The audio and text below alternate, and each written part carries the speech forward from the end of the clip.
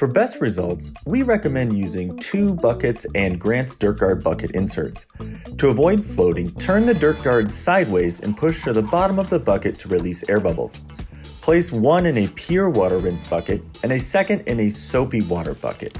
After rinsing the vehicle, begin gently scrubbing on the roof, washing and immediately rinsing one to two panels at a time. After each section, agitate the mitt or sponge in the rinse bucket to remove dirt or grime. Then wring it out thoroughly before returning to the soapy bucket. Repeat process until done, rinsing as needed until finished.